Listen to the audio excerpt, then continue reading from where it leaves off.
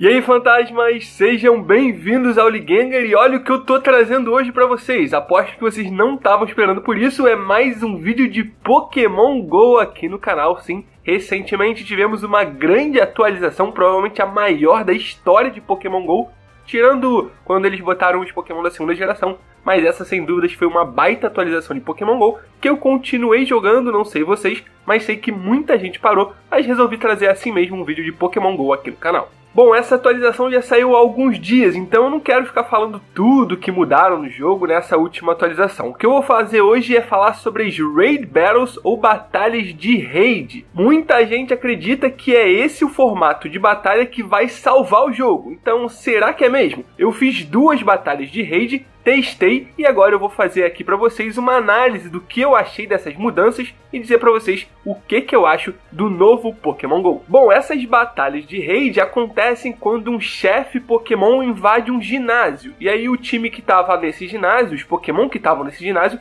saem temporariamente até que termine essa batalha. Beleza? É um chefe Pokémon quase um totem Pokémon, assim como a gente viu em Sun Moon. Ele, inclusive, é um pouco maior, o tamanho, o CP também.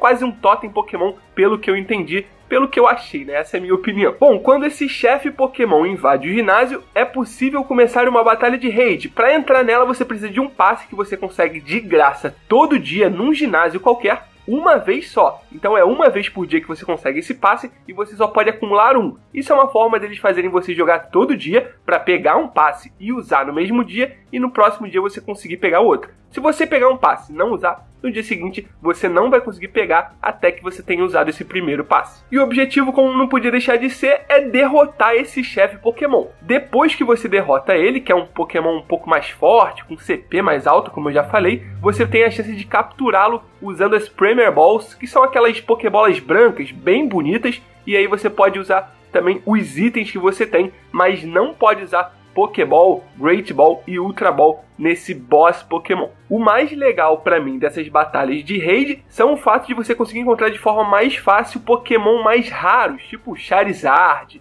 Alakazam, Tyranitar, Lapras. Todos esses são Pokémon que eu já vi em batalhas de raid ao meu redor, ou seja, perto de mim. Eu pude ter a chance de chegar até eles com mais facilidade e capturá-los. Claro, não é tão fácil assim você capturar esses boss Pokémon, pelo menos os mais difíceis, porque eu vou falar daqui a pouco que tem níveis de dificuldade dessas batalhas de raid. Não é tão fácil você capturá-los com Premier Balls, mas você vai precisar de um pouco mais de skill. Não adianta só jogar Pokébola de qualquer jeito que você não vai capturar. Você vai ter que ter uma certa habilidade na hora de tacar Pokébola, a Premier Ball no caso, com bolas de curva, tentar acertar bem no centro do círculo para ter uma maior chance de capturar. Inclusive, vou mostrar uma tentativa fracassada que eu tive de capturar o Charizard que está na thumb desse vídeo. Pela minha experiência, eu acho que esses Pokémon também estão se mexendo mais rápidos. Então, o que acontece é que eles rebatem as nossas Pokébolas de uma forma mais fácil e também se esquivam dela. Por exemplo, o Charizard sobe e desce muito rápido e aí eu acabo jogando em cima, ele vai para baixo,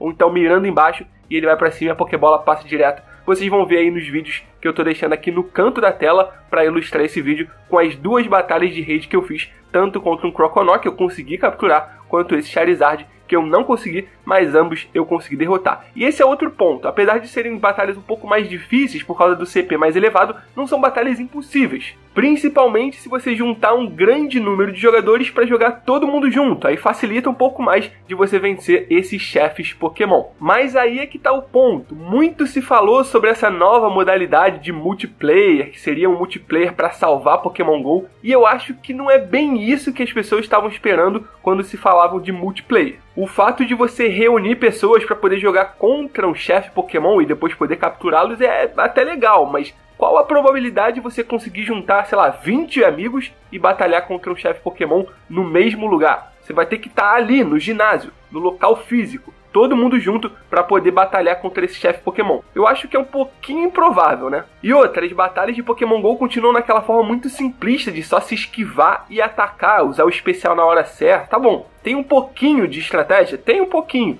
mas não é nada grandioso, nada muito competitivo. Então é muito simplista também, essa forma de batalha não é tão atraente para quem jogou os outros jogos de Pokémon. Bom, como eu disse, as batalhas de rede têm 5 níveis de dificuldade e conforme mais difícil for, mais você consegue recompensas e mais difícil também é de derrotar o chefe Pokémon, né? Outra coisa bacana que essas batalhas de rede trouxeram pro Pokémon GO é, são justamente essas recompensas que eu acabei de falar. Tem vários novos itens bacanas, principalmente, na minha opinião, a, o Doce Raro ou Rare Candy, para quem joga os jogos clássicos, que são doces que você pode usar nos seus Pokémon e acabam se transformando em doces daquele Pokémon. Ou seja, são basicamente como doces coringas. Você usa um Rare Candy, por exemplo, num Dratini e ela se transforma em um Dratini Candy. Isso vai facilitar com certeza que você evolua mais facilmente os seus Pokémon, complete a sua Pokédex e até upe alguns Pokémon que não evoluam. Por exemplo, o Snorlax não é um Pokémon fácil de você achar, não é um Pokémon fácil de você conseguir suas Candies e aí com a Rare Candy você vai conseguir transformar em Snorlax Candy e, consequentemente, upar o seu Pokémon. Então eu insisto naquilo que eu sempre disse, a minha opinião de que Pokémon GO é um jogo muito bom, só que casual, não tem uma veia competitiva forte. Então, para quem ainda gosta de capturar Pokémon na rua, quer completar sua Pokédex, essa nova atualização com as batalhas de rede foi muito legal. Você vai conseguir Pokémon mais raros com certa facilidade, vai conseguir as candies que faltavam para evoluir os seus Pokémon. Então, nesse ponto de vista, é muito bacana. Agora, como um jogo competitivo, Pokémon GO ainda deixa muito a desejar. Beleza, você vai falar que os ginásios também mudaram de fórmula, mas não adianta mudar a fórmula do ginásio se você não muda a fórmula da batalha. Na minha opinião, o que Pokémon GO tinha que fazer eram duas coisas. Primeiro, você tem que simplificar um pouco os gráficos do jogo, um pouco os gráficos da batalha, pelo menos, para que tenha mais acessibilidade de outras pessoas com celulares um pouco piores. E aí elas vão conseguir jogar com certa tranquilidade. E a outra coisa é você mudar esse sistema de batalha, porque não dá mais você usar dois golpes, ficar tocando na tela para esquivar e atacar porque não é legal. Você tem que tentar trazer algo um pouco mais próximo do clássico de Pokémon,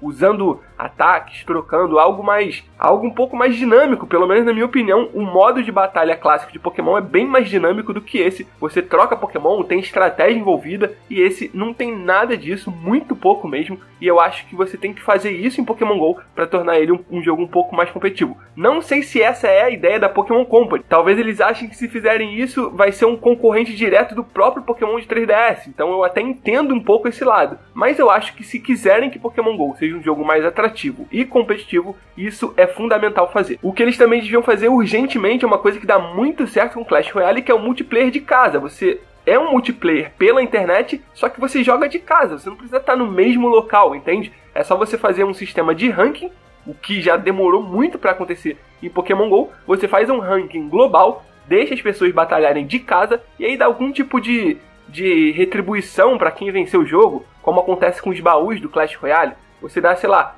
pequenos baús que saem itens. Não precisa sair Pokémon dos baús de Pokémon GO. Saem itens já ajudaria bastante e também deixaria o jogo um pouco mais agradável e atraente para quem deixou de jogar Pokémon GO. Enfim, entre novos itens, novas formas de batalha, novos ginários, Pokémon GO para mim continua sendo um jogo bem divertido de jogar quando você está na rua, mas infelizmente não é o meu top game de celular, de mobile, né? Eu ainda prefiro muito mais Clash Royale e a Supercell está lançando um novo jogo é, para celular que já saiu no no iOS, agora vai sair no Android. Então a tendência é que Pokémon GO perca mais espaço se não fizer algo urgente. Muita gente também está falando que essas Raid Battles vão ser a forma de capturar os lendários da primeira geração, o que faz muito sentido, mas vamos ver como é que isso vai funcionar, né? Já estão tendo alguns eventos lá na gringa, por enquanto aqui não tem muita coisa confirmada, e a gente sabe que o Brasil é um pouquinho esquecido pela Pokémon Company, apesar desse último International que teve aqui, mas vamos ver como é que as coisas vão se desenrolar nos próximos, nos próximos meses, né?